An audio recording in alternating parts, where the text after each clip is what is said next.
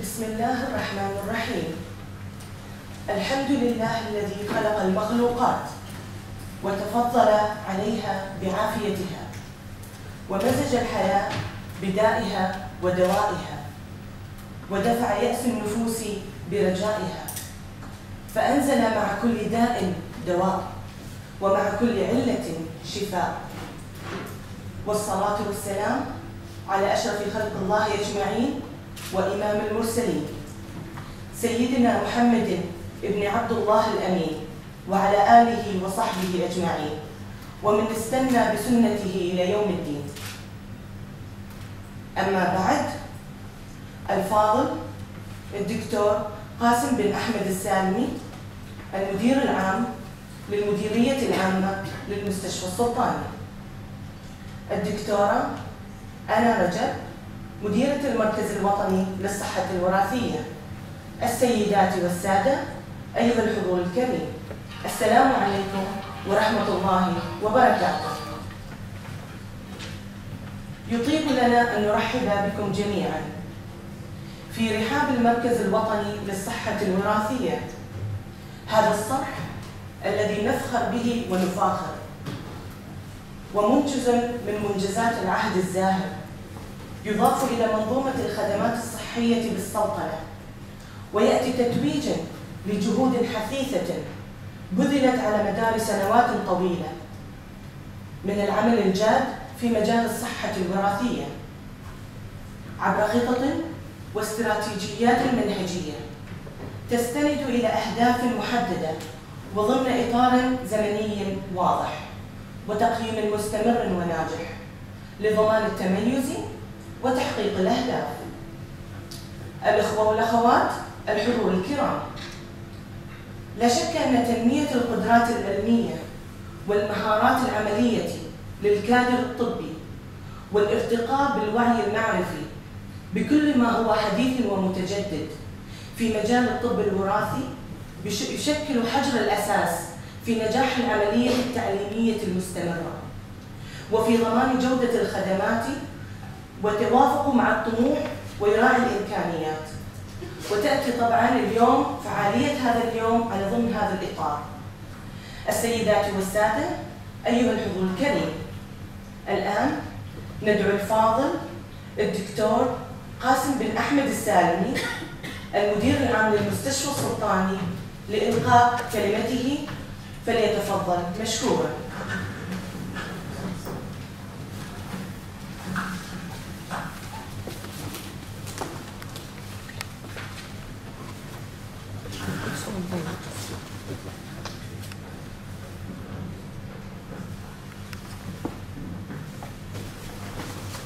السلام عليكم ورحمة الله وبركاته. بسم الله الرحمن الرحيم. والحمد لله رب العالمين والصلاة والسلام على أشرف الله على خلق الله وإمام المرسلين سيدنا محمد بن عبد الله الأمين وعلى آله وصحبه أجمعين. أيها الأخوة والأخوات الزملاء الكرام السلام عليكم ورحمة الله وبركاته. يسعدني أن أحييكم ونرحب بجمعكم الكريم من خلال ورشة العمل حول فنون علم الوراثة في مجال التشوهات الخلقية. والتي سوف تتم عبر محاضرات وعروض تقديميه تحمل عناوين مختلفة تغطي معظم النقاط التي من المهم لكم معرفتها نظريا وعمليا بالقطاع الصحي. أيها الحضور الكريم لقد شهدت السلطنة تطورات تنموية مهمة ومعدلات ارتقاء حضاري ملفته شملت جميع جوانب الحياة الاجتماعية والاقتصادية والصحية وغيرها. وقد انعكست جميعها بشكل إيجابي ومثمر على مستوى النمو الحضاري للمواطن والأسرة والمجتمع.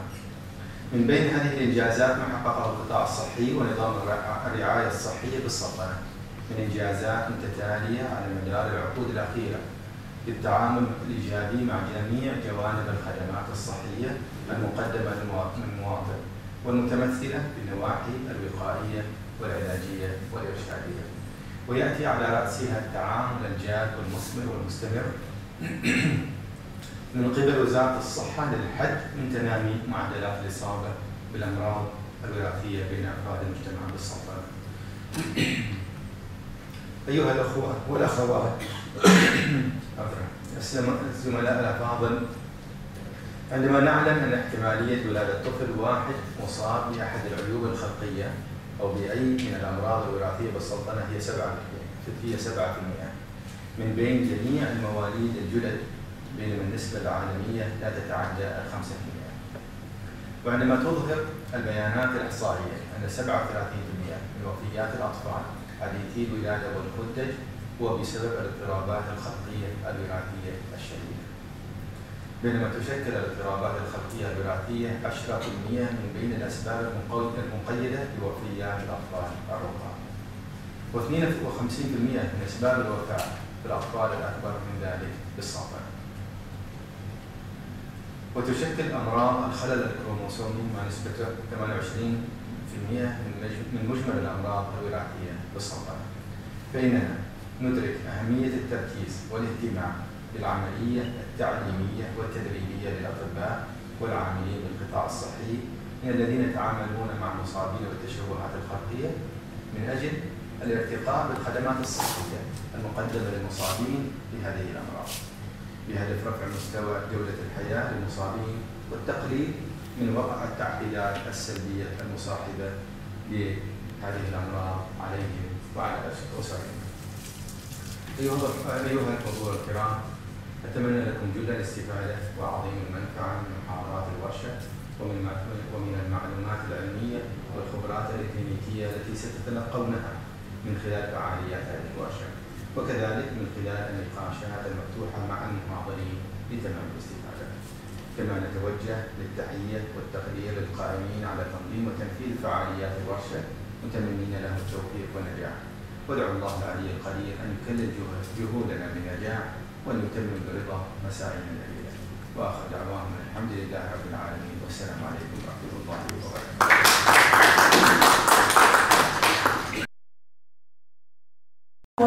بأول عرض تقديمي للدكتورة أنا رجب مديرة المركز الوطني للصحة الوراثية بعنوان متلازمات الأمراض الوراثية الأكثر شيوعا في السلطنة.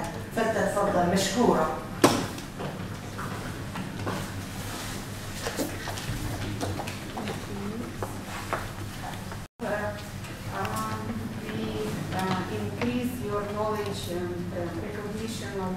Children can be referred and uh, for investigations and um, we are ready always to give advice on management. And uh, I would like your feedback. If something was not clear or we can do it uh, better, then we would like to learn from you. Thank you very much. Right, so now the survival of children with, born with disability is very good in the Sultanate.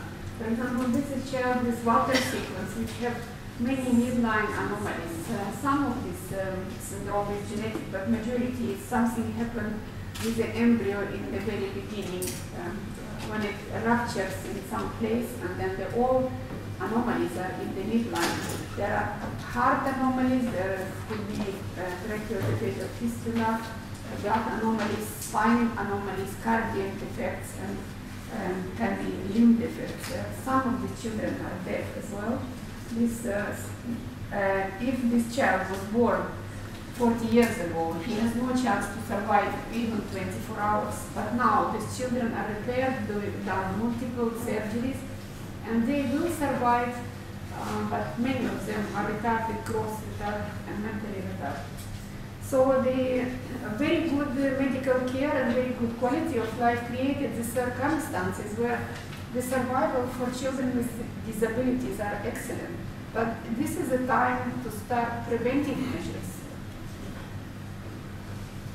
Right, so this is a picture of chromosome. This is uh, magnifying, uh, you can see the gene packages, just uh, I update you to start with chromosomal anomalies. This is a family with translocation Down syndrome in mother, and uh, where five children are affected with Down syndrome in one family.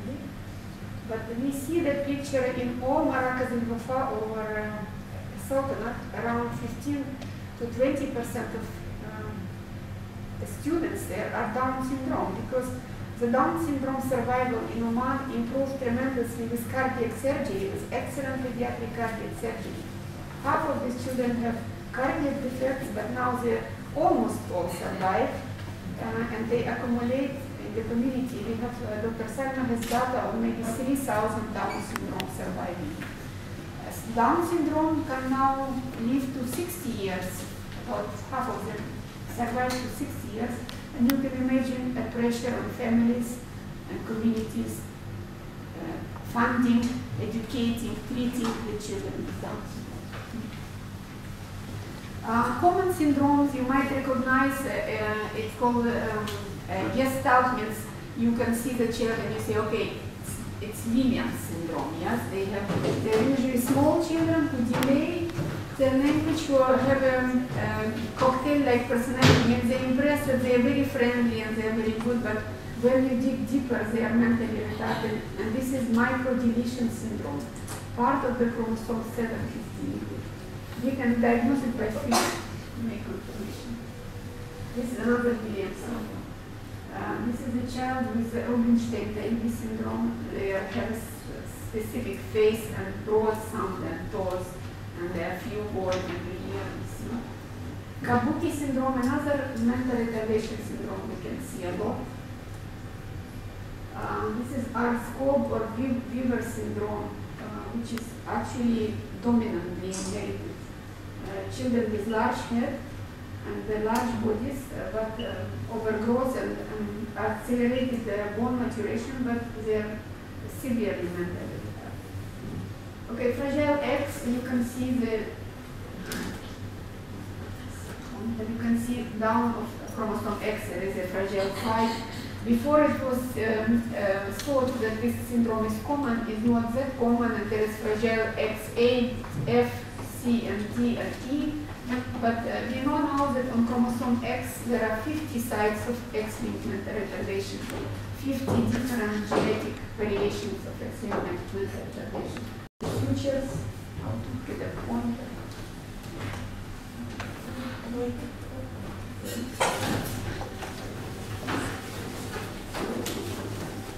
Sorry. So uh, in craniosynostosis syndrome, actually there are more than 80 syndromes, um, and it is usually growth factor abnormalities, which uh, makes it uh, sutures of the some children are normal and some uh, associated with developmental delay. Um, diagnosis uh, is usually clinical. Um, most common here is Saethre-Chotzen syndrome. Um, it's, it's, and it's variable expressivity because it's uh, dominant.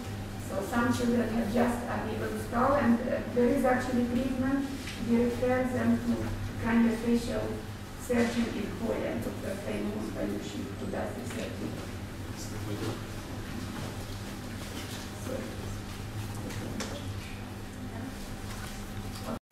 from children with knowledge. This is a variable syndrome. The doctors uh, used to write me, this is congenital rubella, but uh, you can see if a child, one child has congenital rubella, the next child cannot be congenital rubella because mother will become immune, right?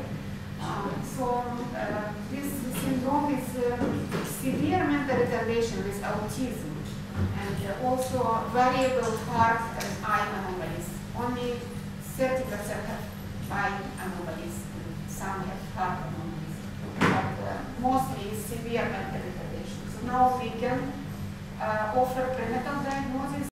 ندعوكم لاستراحة قصيرة لتناول وجبة الإفطار ومن ثم نواصل فعاليات الورشة شكرا لكم جميعا على حضوركم المشرف والسلام عليكم ورحمة الله وبركاته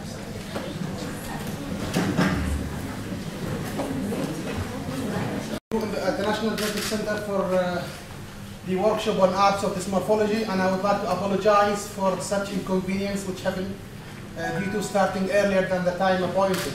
Um, I'm, I'm, I'm, sure you know what was the story behind that. But anyhow, uh, now we'll uh, start our workshop by a talk about dysmorphology as a profession.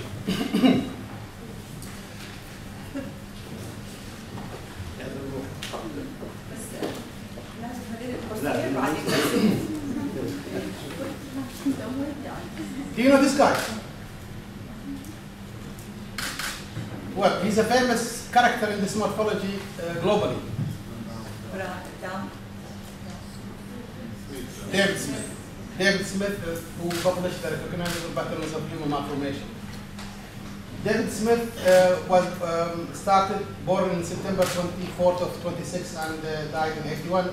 He was the most famous um, pediatrician who described human congenital malformations. This is a short biography about him. Right. To serve as congenital anomalies such as heart defects or hollow swelling. Now, professionals or this, dysmorphologist, he is the one who specialized in the study of abnormal malformations or development of the fetuses. He helped to assess the extent and the etiology, recurrence risk, and management options of congenital anomalies. Now, what's happening right now that most of the pediatricians should have uh, that kind of capability of assessing dysmorphic features, and um, they can act like uh, a morphologist. But by definition, um, he need to be more or she need to be more qualified in order to label them as a dysmorphologist. Recognize normal variant, he is able or she is able to recognize normal variants, major anomalies, and minor anomalies as well, and know that, the, that, that may serve as clues to diagnosis. So that will bring his attention to put like differential diagnosis based on priorities and based on his experience. He know what is meant by syndrome or sequence and association, and I'm going to describe this later. Be familiar with how to sensitively, comprehensively approach birth defects in patients, like looking at the in, from, uh, you know, collecting all the features and looking at it in wide um, manner. It is just because it is congenital, it doesn't mean that it is genetic. Picture about the prognosis, the treatment options, the occult abnormalities, and also it will help in um, finding the recurrence risk, so it will really um, have a positive impact on genetic counseling of the family affected. And it also by identifying the, the, the causative uh, abnormality or let me see the gene abnormality, it can also enlighten us about the pathogenesis of uh, such um, phenotype. And also it will describe the natural history of such syndromes. Now making a diagnosis, even if it is a bad diagnosis, is more useful for a patient and their family from, uh, than having no diagnosis at all. But wrong diagnosis is worse than no diagnosis. Now there is a difference between bad diagnosis and wrong diagnosis. Wrong diagnosis can lead to a worse outcome, while bad diagnosis can help us also to reassess again. At least we are on the right way to find a diagnosis for more, um, uh, you know, as a step I mentioned about the prognosis and the counseling. Uh, Dr. Prakash will also speak, uh, will speak after in details about um, how to approach uh, a child with dysmorphic syndrome. And he will come through some of these graphs. Now, this is a graph that describes the weeks of human development, and as you can see, uh, the formation of the organs between the third and the eighth week. And during this during this period, the malformation of embryo may occur. Um, before that, of course, death wave is a coloboma, hair malformation. Choanal atresia. Charles. Okay, consider a genetic condition or syndrome as a physician or as a dysmorphologist or whoever is approaching such case.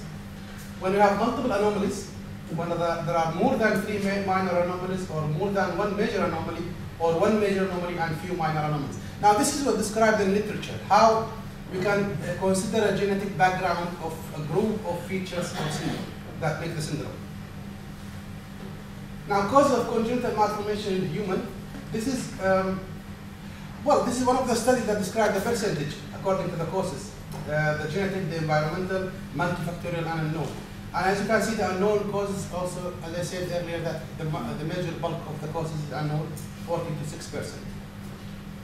Some clinical features suggest a specific diagnosis. Now, if you are in the field of dysmorphology, or let me say if you are uh, in the field of clinical genetics, you will be able to know that there are some distinctive features that just one feature if you see, then you can um, think of the most appropriate diagnosis. Let us go through some examples. Um, I would like now to uh, ask Dr. Prakash to come and give his presentation.